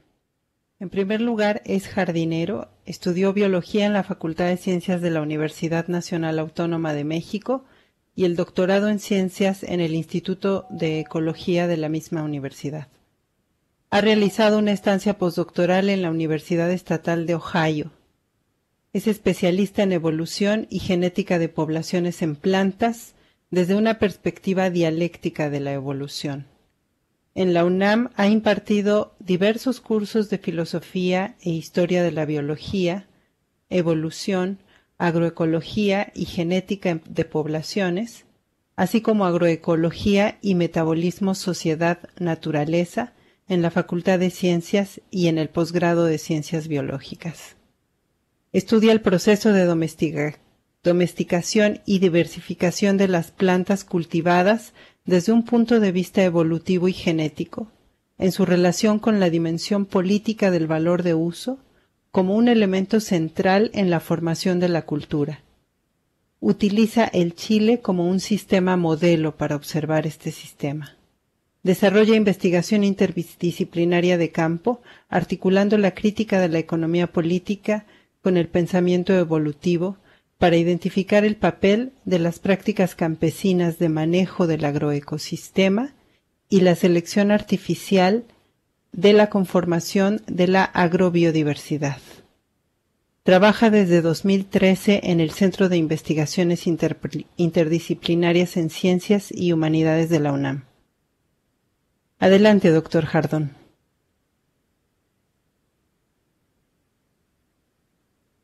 Listo. Hola, ¿qué tal? Muchas gracias. Este, agradezco la invitación y a las compañeras que me antecedieron porque pues, nos da un panorama en el cual podemos entrar en, el tema. Entonces, este, espero que ahí se vea mi presentación. Voy a ponerla en pantalla completa. Eh, bueno, entonces, eh, esto es de lo que vamos a hablar, de una visión evolutiva sobre los agroecosistemas y la eh, diversidad. Eh, he tratado de estructurarla de esta manera. Hablaremos sobre agroecosistemas y agroecología. Y luego dos perspectivas sobre la agrobiodiversidad. Una desde la perspectiva de la construcción de nicho como un elemento importante en la teoría evolutiva contemporánea. Y luego la, agrobiodiversidad como producto del trabajo humano para con ello abonar a una, a una reflexión que intente pues, problematizar un poquito sobre lo que estamos este, eh, viendo. ¿no? Entonces, en términos muy generales, los agroecosistemas eh, pues son estos, son ecosistemas organizados por el trabajo humano que incluyen grupos específicos de especies, tanto la micro como la macrobiota, es decir, lo que alcanzamos a ver, plantas y animales que percibimos con nuestros sentidos, este, como cosas que no vemos a simple vista y que están articulados en torno a la producción agrícola, eh, que subrayaríamos desde el principio en, eh, en un inicio, lo que trata es de resolver necesidades concretas, es decir, de producir valores de uso, a diferencia de lo que va a ocurrir en toda esta situación de los mercados que, ya ha sido tocada con, amplitud este, por Silvia este, en, la primera presentación. ¿no? Eh, de manera muy general, eh, la agrobiodiversidad puede seguir un paralelismo con los niveles de organización, habrían niveles eh, de organización más pequeños que los que están presentes en esta diapositiva. Algunas van a estar en inglés, pido una disculpa por eso, pero trataré de, explicar de qué se trata. Eh, entonces, eh, pues podemos pensar en los niveles de los organismos, de lo que le pasa a una planta, o de la variación genética que está presente en las poblaciones, de las poblaciones mismas que componen a un cultivo, la comunidad que compone a un ecosistema, o en este caso a un ecosistema, las diferentes especies que podemos encontrar en un campo de cultivo, y la escala más grande, que sería quizá la, escala eh, propiamente ecosistémica, ¿no? o del paisaje, cómo, cómo está articulado eh, los distintos este, tipos de, manejo eh, en una escala un poquito, un poquito más grande. la agroecología, en términos generales, tiene como más o menos tres grandes formas de existencia, que son lo que se suele reconocer. una es la agroecología como ciencia, como, es decir, como campo interdisciplinario que trata de explicar Em, por qué encontramos en los agroecosistemas lo que encontramos y de qué manera están articuladas eh, eh, esos diferentes tipos de plantas y animales em, eh, conviviendo y conformando una comunidad en, un momento determinado y que buscaría entender la complejidad de los agroecosistemas a diferentes niveles. Existe una fuente de la agroecología entendida esta como prácticas agroecológicas tradicionales que en muchos casos ni siquiera probablemente se han llamado a sí mismas agroecológicas y que están asociadas a eh, los modos campesinos o las formas campesinas de, llevar a cabo la producción agrícola y que van a tener un fuerte componente, digamos, de, una diversificación histórica relacionada con la necesidad de resolver necesidades concretas de las comunidades que practican eh, estas formas de agricultura. Y digamos en tiempos más recientes y justamente confrontando, a partir de la confrontación o de las consecuencias del modelo agroindustrial que se ha ido gestando en los últimos 150 o 200 años, eh, en, décadas recientes, eh, eh, digamos de la segunda mitad del siglo XX, los movimientos sociales agroecológicos que buscan desde distintos orígenes sociales, desde distintos contextos políticos, reconstruir otra forma de relacionarse con, la naturaleza. Eh, voy a hablar en, la plática de hoy fundamentalmente de la agroecología como, eh, como ciencia o campo interdisciplinario, tocando algunas cosas que pueden ser relevantes a los, a los otros temas o a las otras fuentes. ¿no?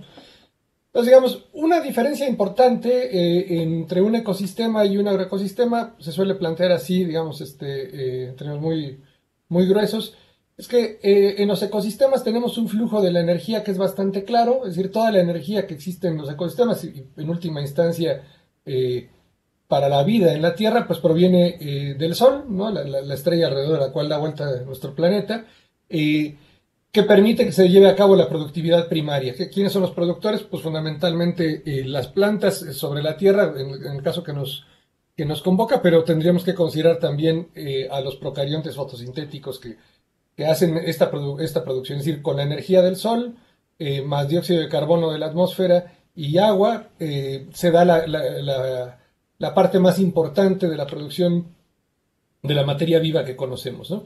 Y luego esa energía que es asimilada por los productores primarios va teniendo fugas a lo largo de lo que se llaman las cadenas tróficas, fundamentalmente en la forma de calor, pues porque eh, obtenemos energía, los herbívoros, los carnívoros, los depredadores tope, vamos obteniendo energía pero una gran parte de la energía que obtenemos a, lo largo de nuestra alimentación, cualquier, eso es válido, digamos, para cualquier ser vivo, pues se va a disipar en la forma de calor cotidianamente, ¿no?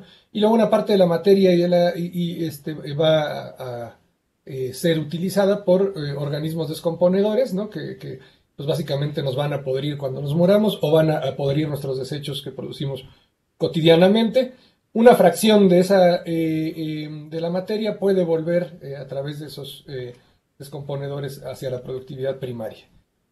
En el caso de los agroecosistemas tenemos una situación peculiar en la cual aparece una fuente adicional que, digamos, estas, estas dos, el sol, la lluvia y la atmósfera, están presentes en todos los ecosistemas, pero aparecería una, una novedad, una novedad en el sentido evolutivo, que, que, tiene más o menos 11 o 10 mil años que que se manifiesta en la forma de agricultura, y es que la acción de insumos, de cosas que, que movemos, que mueven las comunidades humanas y el propio trabajo humano, se convierte en una fuente de materia y energía que va a actuar sobre, sobre esta conformación particular que van a ser eh, no solo los campos de cultivo, sino también lo que rodea a los campos de cultivo, la acción dirigida por, por parte de los seres humanos que dirige la acción de los animales y de productos animales, desde el estiércol este, o, la, propia acción del, ganado sobre los arados y este tipo de cosas, va a modificar el, el agroecosistema de manera significativa.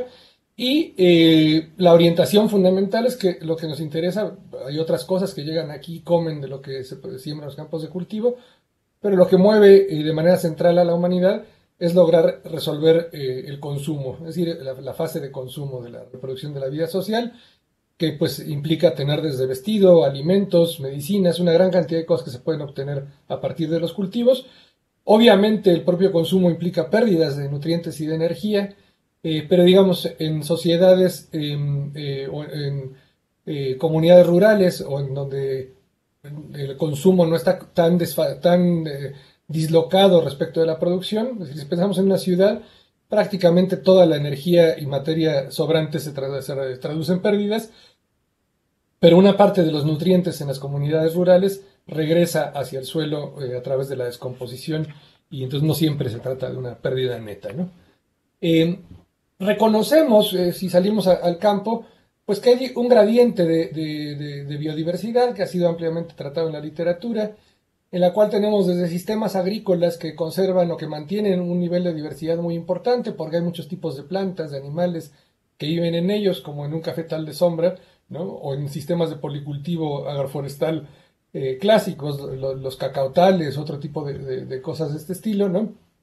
donde se conserva mucha biodiversidad y eh, un gradiente en el cual, eh, digamos, en el sótano de, los niveles de diversidad, de la cantidad de cosas distintas, de plantas, de animales, de microorganismos diferentes que podemos encontrar, tendríamos sistemas de monocultivo comercial eh, con grandes aplicaciones de agroquímicos que van a ser un tipo específico de insumos agrícolas que más allá de sus consecuencias este, a la salud, que, que pueden ser muy graves en muchos casos, ¿no?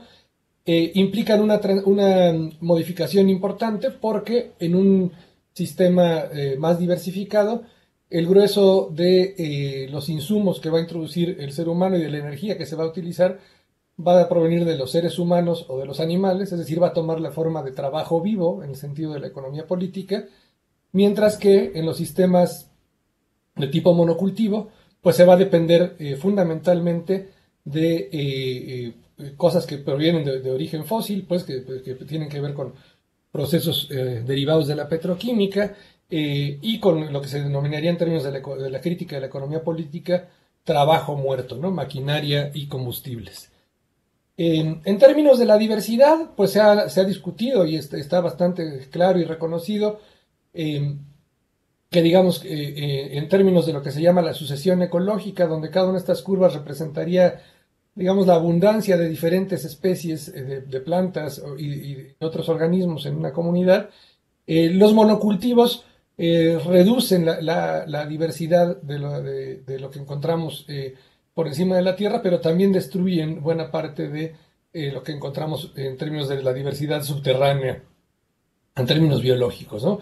Es decir, los monocultivos reemplazarían a las, a las comunidades ecológicas complejas y entonces entender cuáles son las interacciones ecológicas eh, en uno y otro tipo de agroecosistemas, eh, pues aparecería como una, una, de las primeras preguntas que sería interesante para eh, comprender desde la perspectiva, desde esta perspectiva para la agroecología.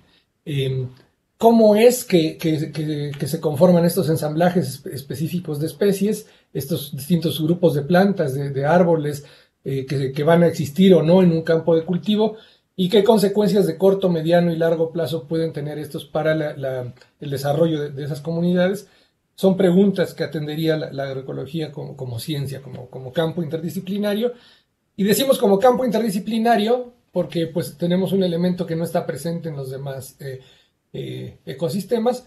Estos insumos y trabajo humano pues están socialmente organizados con, una dimensión eh, de clase, de género, que pueden, pueden, ser, pueden tener problemas de racialización en términos de, posibles discriminaciones, en particular en relación con los estados nacionales en los cuales se, insertan.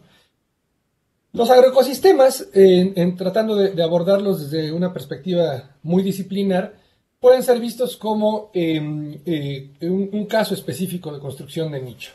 Es decir, en toda la naturaleza sucede cotidianamente que la propia acción de los organismos sobre una condición eh, dada, ¿no? es decir, sobre, sobre, sobre tierra pelona o sobre suelo poco desarrollado, la propia acción de los, de los organismos va modificando las circunstancias que los rodean, eh, se va intemperizando la roca, se va incrementando la estructura del suelo, van apareciendo nuevas condiciones de sombreado que permiten el desarrollo de otro tipo de plantas, hasta que eventualmente se pueden establecer lo que a veces en ecología es un tema bastante debatido, si existe o no la, comunidad clímax, pero se pueden establecer tipos de vegetación que no podrían haber existido en la condición inicial. A lo largo del tiempo, que pueden ser cientos a veces eh, de años, ¿no?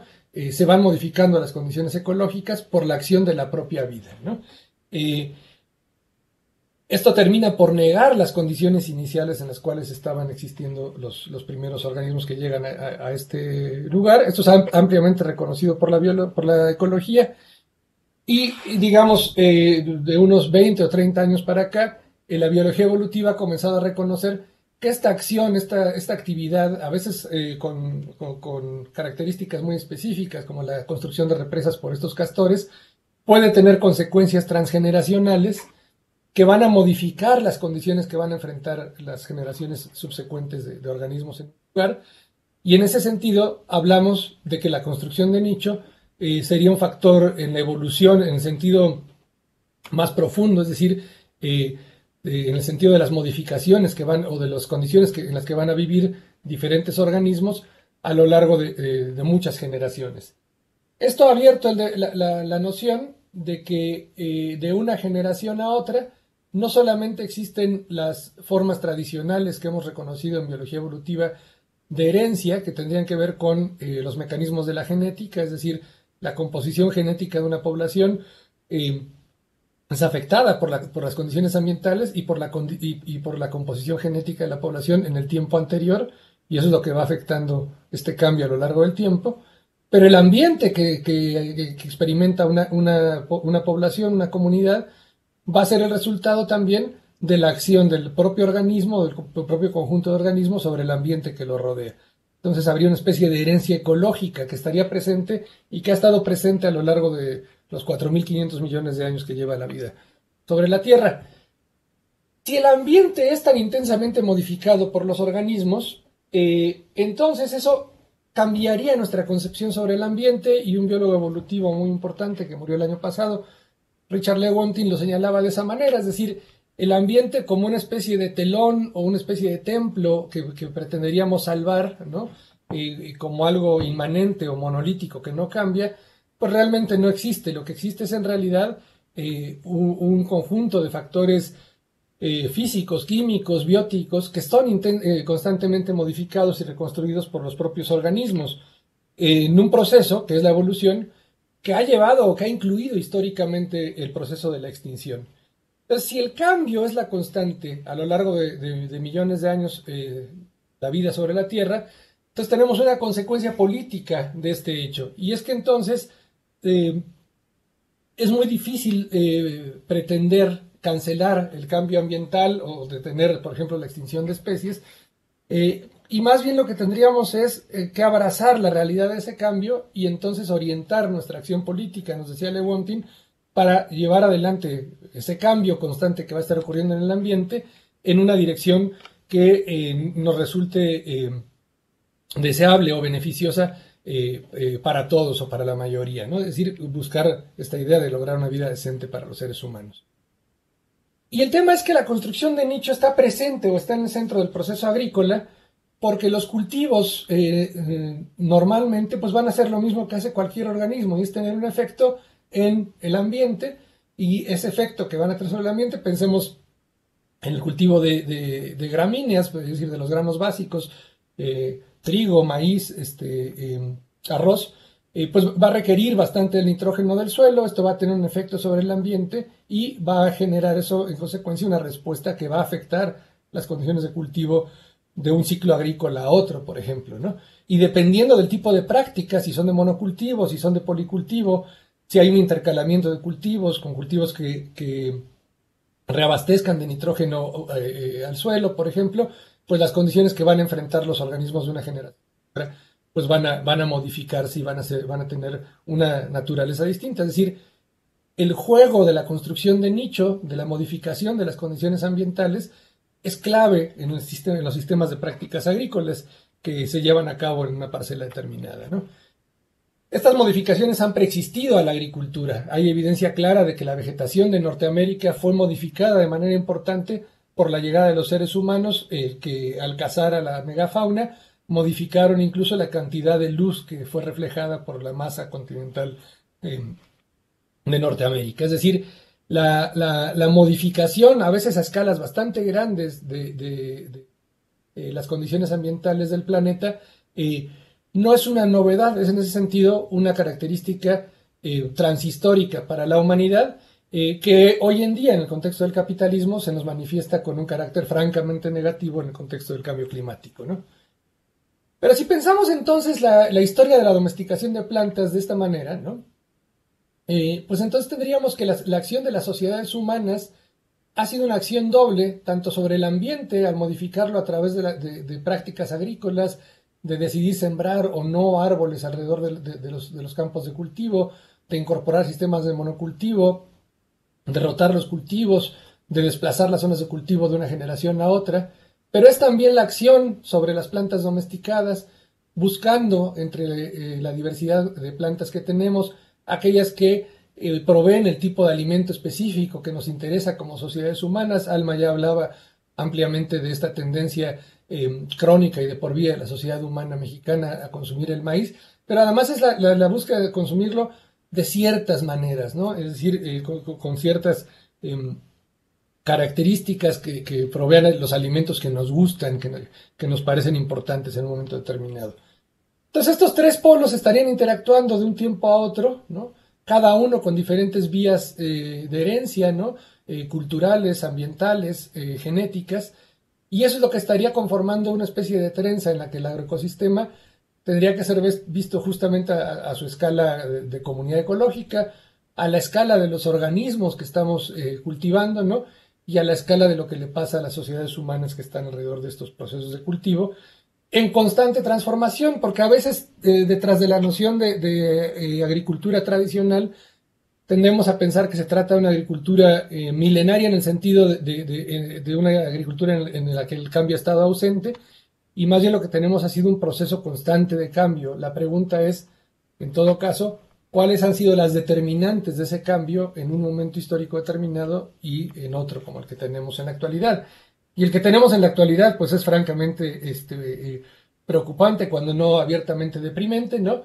Em, pues lo que tenemos es que, eh, de, acuerdo al Grupo de Estocolmo, eh, tanto la tasa de pérdida de biodiversidad, el cambio climático, la alteración del ciclo del nitrógeno que empezó en el año 1900 para producir los fertilizantes, em, los, los, fertilizantes químicos, em, han rebasado probablemente desde hace ya algún tiempo eh, los puntos de no retorno sobre la posibilidad o no de tener eh, o de, que el planeta pueda dar sustento a la, vida humana, al menos como la hemos conocido hasta ahora. En el caso de la agricultura, esta crisis pues, se manifiesta de una manera muy fuerte en una pérdida de agrobiodiversidad, es decir, la cantidad de tipos diferentes de cada, dentro de cada uno de los cultivos que cultivamos eh, eh, el día de hoy respecto al que cultivamos hace 150 o 200 años, pues ha sufrido lo que se llama eh, una erosión genética, ¿no? una pérdida de diversidad, asociada a veces directamente a la pérdida de variedades, a veces a la reducción en la diversidad genética dentro de cada uno de los cultivos, o a veces a un incremento muy fuerte en lo que, de lo que en ecología se llama la dominancia, que algún tipo específico de manzana o de jitomate es el que prevalece tanto en los campos de cultivo como, como en los mercados. ¿no? esto empobrece nuestra dieta, pero además nos hace más vulnerables respecto al cambio climático, porque la posibilidad de responder al cambio con una diversidad que es mucho más pequeña, eh, pues se ve acotada de manera muy, fuerte. ¿no? Eh, ya han discutido las dos compañeras que me antecedieron el grave problema de los monocultivos de exportación, eh, que a veces se dan en, lugares este, pues que, serían francamente kafkianos si no fueran trágicos, ¿no? Como eh, estos eh, campos de cultivo de Chile industrializados dedicados a la exportación en Baja California Norte, en donde la Baja California, donde la, cantidad de disponibilidad de agua es, muy pequeña, ¿no? Y digamos, este sería el extremo del agroecosistema más pauperizado, ¿no? Eh, pero, podría, pero existen eh, y han prevalecido a pesar de varios ciclos de intento de, destrucción, eh, como parte del proyecto histórico, incluso del Estado mexicano hasta nuestros días, de las comunidades campesinas, ¿no? que, en cuya destrucción se ha empeñado, como digo, el Estado mexicano desde la época de Juárez hasta el día de hoy. estos, junto a las comunidades campesinas, prevalecen estos sistemas de policultivo, que incluyen pues, de diferentes variaciones geográficas asociadas a distintos lugares, eh, y que estarían en el otro extremo no solo porque eh, el tipo de ciclaje de la, de la materia y de la energía que se va a dar en ellos es diferente, sino porque van a estar fundamentalmente construidos alrededor de la producción de valores de uso, es decir, de resolver necesidades concretas, mientras que aquí lo que se está produciendo son toneladas de chile que se van a exportar a más o menos mil dólares la tonelada en la frontera de Tijuana, ¿no? Es decir, se produce valor se produce valor de uso. Eh, estas comunidades, que son, que son altamente diversas en sus plantas, pues son también altamente diversas en la fauna que habita, que, habita dentro de ellas. y esto pues, e, es relevante. Eh, este es el caso de un estudio eh, de A. González para el caso de, de, Sachila, donde al comparar parcelas con un nivel de industrialización que palidecería frente al de Baja California, pero que permite marcar una diferencia en cuanto a tipo de prácticas agrícolas respecto a las eh, parcelas llamadas más tradicionales en este caso, eh, mantiene una diversidad mucho más grande en las comunidades de coleópteros, pero además y de manera significativa, una comunidad mucho más rica en eh, términos de predadores, de, coleópteros predadores, respecto a los herbívoros, lo cual permitiría un control biológico, digamos, no intencional, pero asociado al, tipo de prácticas agrícolas, eh, diferente del que promovería el modelo industrializado, donde la dependencia estaría marcada fundamentalmente por la aplicación de agroquímicos, con las consecuencias indeseables a nuestra salud. Esto ha sido ampliamente documentado, tan es así que está clara que la idea de que los sistemas de policultivo llamados tradicionales o los sistemas orgánicos permiten tener un control eh, de las llamadas plagas eh, por, vía de la depredación natural en un tipo de, por la fauna, incluso de insectos que habita dentro de ellos, eh, mucho mayor que los, que los sistemas de monocultivo modernos asociados a una forma particular de modernidad que es la capitalista. Y ya hemos hablado de que la diversidad en los cultivos pues siempre es mucho más alta en ellos, en los sistemas, digamos, en los sistemas campesinos respecto a los sistemas más industrializados, ¿no? La, insolación asociada también a la pérdida de agua, eh, pues, perdón, el, aislamiento, perdón, eh, asociada a la imposibilidad de em, las eh, plagas de migrar de, un, de, una, de, una, parcela a otra, de una planta a otra, pues va a ser mucho mayor en, los pues, sistemas de policultivo tradicional. ¿no? Pero esos agroecosistemas, y con esto entra la última parte, hay que recordar que son producto del trabajo humano, no aparecen ahí como, como aparecería, digamos, este, eh, como aparecía la naturaleza hasta hace 400.000 años cuando apareció Homo sapiens sapiens. La transformación de la naturaleza por nuestra especie ha sido de escala planetaria, ¿no? Eh, pero digamos que si en un lugar se expresa de manera muy clara desde hace 10.000 años más o menos, pues sería en el contexto de los agroecosistemas, ¿no?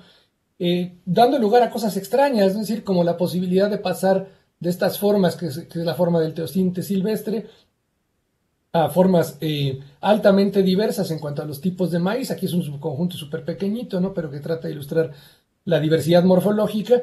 Y todo esto ocurre en una cosa que es un instante biológico, ¿no? Dos, tres mil años eh, para que esta diversidad eh, emerja. Es un instante biológico respecto a, los tiempos que suele llevar la, la evolución eh, biológica para generar estos patrones de diversidad. Cinco minutos, doctor. Perdón, adelante.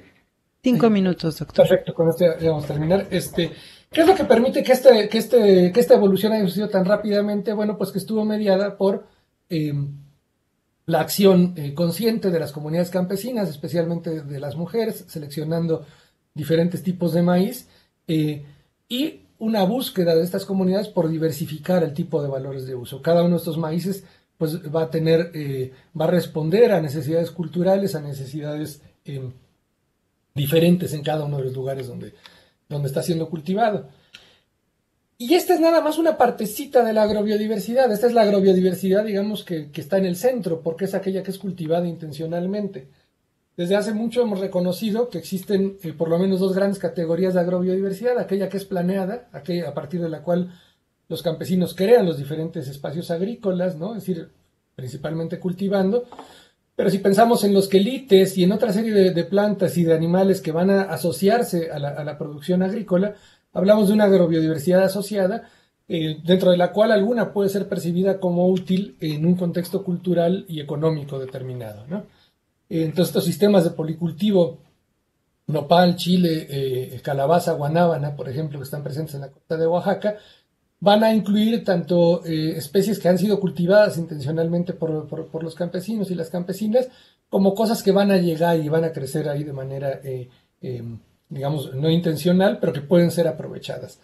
Y de manera importante, cada vez tenemos más evidencia de que estas plantas de Chile que crecen en los traspatios, algunas son, por ejemplo, eh, dispersadas por aves, sin que hayan sido sembradas por los campesinos y crecen en la forma eh, arbense, son eh, reservorios de variación genética, esto, son, esto es una representación gráfica de espacios de variación genética en estos óvalos, que ligan a, las, a, los espacios eh, silvestres de la variación genética con el espacio cultivado, es decir, son poblaciones que permiten el flujo y el intercambio de material genético entre los campos de cultivo y los campos eh, y las plantas que crecen en los bosques tropicales de manera natural, eh, como silvestres, y eso tiene un papel muy importante en la evolución a largo plazo de la diversidad agrícola, de, por ejemplo, de nuestro país. En este caso fue un estudio que realizado específicamente en Oaxaca, ¿no? Eh, por un estudiante de, eh, maestría, en aquel entonces en la licenciatura, este, Ana Laura Pérez Martínez.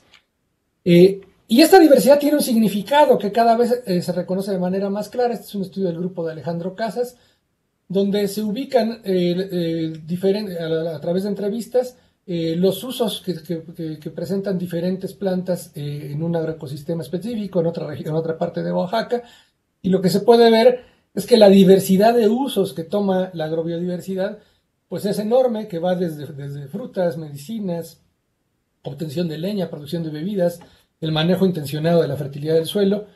Eh, y esto tiene que ver con que la agrobiodiversidad está evolucionando en el contexto de la reproducción de la vida social humana, donde los sujetos humanos en la fase productiva están actuando para producir eh, productos que van a incorporarse como bienes de consumo en la fase de consumo de la reproducción de la vida social humana. Eh, y esto va a manifestarse en diferentes niveles, desde el nivel del agroecosistema hasta el nivel de las diferentes plantas cultivadas que van a ser seleccionadas y que van a ir modificando sus características a lo largo del tiempo, con una peculiaridad que es característica de los seres humanos, a lo que Adolfo Sánchez Vázquez llamaba la praxis, es decir, que en el momento de la acción de los seres humanos sobre la naturaleza, en un momento determinado, tenemos algo que no ocurre en el resto de la naturaleza y es la determinación del presente por el futuro. Toda la naturaleza presenta determinación del presente por el pasado, solo la acción humana sobre la naturaleza presenta determinación del presente por el futuro. Lo que se siembra, cómo se maneja y cómo se decide cultivarlo y e, está marcado desde el principio por lo que las comunidades campesinas esperan obtener, por la forma en la que se espera consumirlos posteriormente. En el control campesino de la tierra, el territorio y las semillas, que es justamente lo que va a estar eh, bajo asedio constante eh, por el proceso de acumulación de capital. Eh, mientras que las comunidades campesinas controlan tanto sus medios de producción como su fuerza de trabajo, y eso les permite producir semillas y granos para el autoconsumo, ¿no? lo cual les va a permitir tener fuerza de trabajo para seguir trabajando y reproducir su propia semilla, y a lo mejor vender mercancías simples que les van a permitir obtener otros valores de uso que no son producidos en sus parcelas, en el modelo agroindustrial se forza una relación entre las compañías semilleras y el agricultor reducido a granjero, donde las semillas que tiene que consumir cada ciclo agrícola el agricultor reducido a granjero son las semillas que produce el aparato del capital, comprando eh, bienes comunes o despojándolos directamente, saberes locales y conocimiento científico, y comprando fuerza de trabajo técnica especializada para producir semillas mejoradas, eh, y prohibiendo, sea por la vía legal, sea por la vía de, de, de, de, formas específicas de transgénesis o de edición genética, eh, impidiendo la reproducción local de las semillas como medio de producción de una generación a otra, y con esto obligando al granjero a participar de este mercado, pues porque el centro está en la producción de dinero. En ese sentido, el Estado mexicano es completamente consistente con su perspectiva histórica, en la medida que el centro de, casi todas las políticas públicas hasta el día de hoy pasa por la monetización de la agricultura campesina, la cual en principio eh, pues podría tener al, dinero como un accesorio, pero eh, hasta el día de hoy eh, la búsqueda de los distintos gobiernos ha sido que el dinero sea el centro de la vida campesina. con esto terminaría yo nada más con una reflexión desde esta perspectiva. ¿Por qué a los agroecólogos nos interesaría? ¿Por qué sería importante que haya gente que esté buscando entender los agroecosistemas? Eh, pues desde esta perspectiva, no es la agroecología, es una perspectiva de la agroecología que estamos tratando de plantear. Eh, nos interesa comprender a los agroecosistemas como parte de un momento cognitivo de la praxis, es decir, como conocimiento necesario para transformar el mundo, esto es, para transformar nuestra mutua determinación con la naturaleza. Y nuestra expectativa es que ese conocimiento agroecológico pueda ser un pedacito, pueda aportar un cachito a lograr esta idea de la coincidencia del cambio de las circunstancias y de la actividad humana o de la autotransformación, es decir, lo que alguna vez Carlos Marx llamaba la praxis revolucionaria. Y con eso termino y aquí dejo, eh, pues unas, algunas de las referencias que utilizamos por si después se quiere profundizar en el tema y creo que me justo a tiempo. Perdón por correr al final. Ah. Agradecemos mucho las valiosas presentaciones que han compartido con nosotros los ponentes. A continuación vamos a leer algunas preguntas que nos ha hecho la audiencia. Para la doctor, para Silvia Ribeiro, eh, preguntan desde su experiencia cuál es el principal obstáculo para la aplicación de la normativa existente sobre el uso de agrotóxicos en México.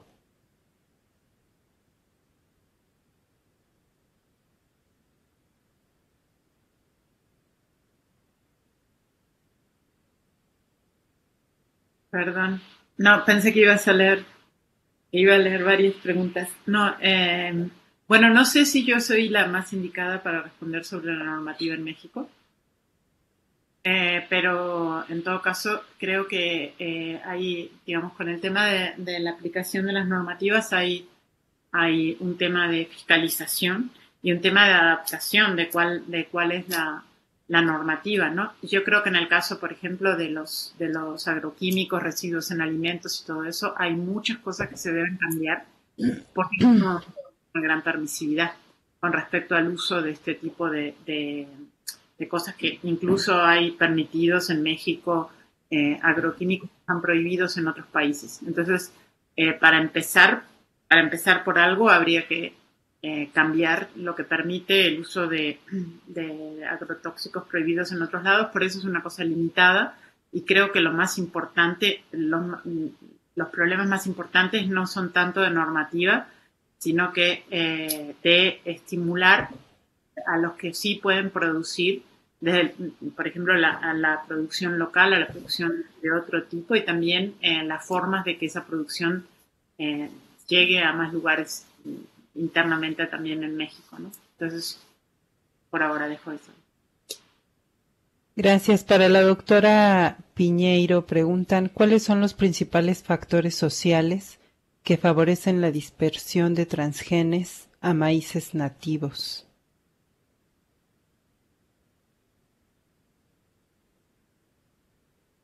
Eh, la respuesta más estricta es todavía lo estamos investigando hay ciertas tendencias que vimos en, eh, porque me faltó decir que en la colecta que hicimos en 2017-2018 en los cinco estados que mencioné, eh, aparejado a, la colecta de, muestras de maíz, también aplicamos una encuesta a los productores, a los campesinos participantes, todo era pequeña agricultora, agricultura, y vemos una tendencia entre la edad, la edad del campesinado, es decir, a agricultores más jóvenes, hay una correlación con mayor probabilidad de presencia de transgenes y eh, también vemos una correlación fuerte con, eh, con este, cercanía a lugares donde se hace agricultura de monocultivo de maíz, es decir, presencia de semilleros.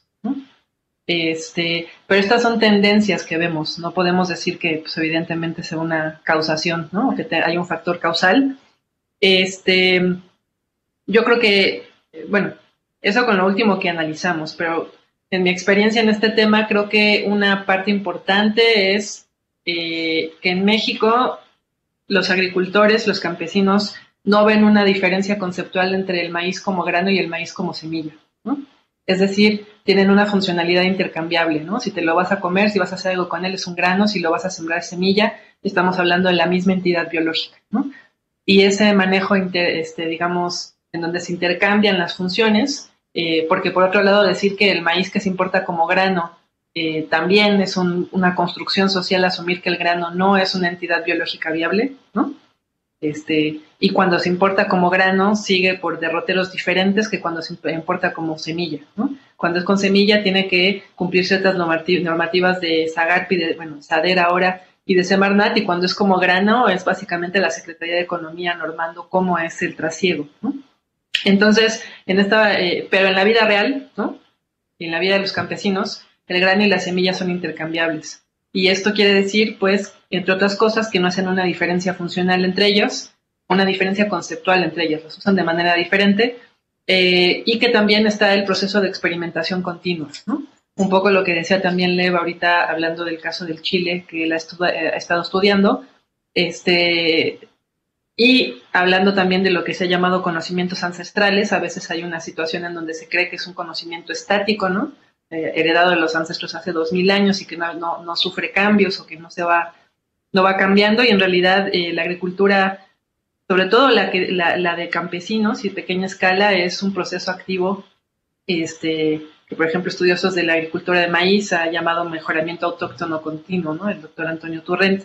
Entonces yo creo que este tipo de prácticas culturales que son fundamentales, quiero enfatizar, para la manutención dinámica de la diversidad este, genética, cultural, biocultural de los cultivos, de cierta manera pueden favorecer la introducción de, grano que es percibido como semilla y que es utilizado. Em, yo creo que eso, eso es una parte y la otra parte importante y por eso mencionaba este, que nos dimos, estamos en la tarea de hacer un, pues un pilotaje de, una, de, de, un, de bioseguridad comunitaria, digamos, de abajo para arriba, eh, tiene que ver con la, la, en mi opinión personal, la total disfuncionalidad del aparato de gobierno para realmente implementar medidas de bioseguridad reales. Este, ya sea porque están saturados, ya sea porque no les interesaba en secciones anteriores, pero los hechos es que eh, pensar que va a haber una, solamente se va a solucionar el problema de flujo de transgenes a maíces nativos a través de una normativa nacional implementada desde arriba, yo creo que no es, sería ingenua, ¿no? Este, entonces, bueno, eh, hasta ahí mi respuesta. Gracias, doctora Piñeiro. Para el doctor eh, Lev Jardón, eh, dice un, un oyente, por un lado, la FAO promueve la agricultura familiar, que es la principal práctica agrícola de nuestro país.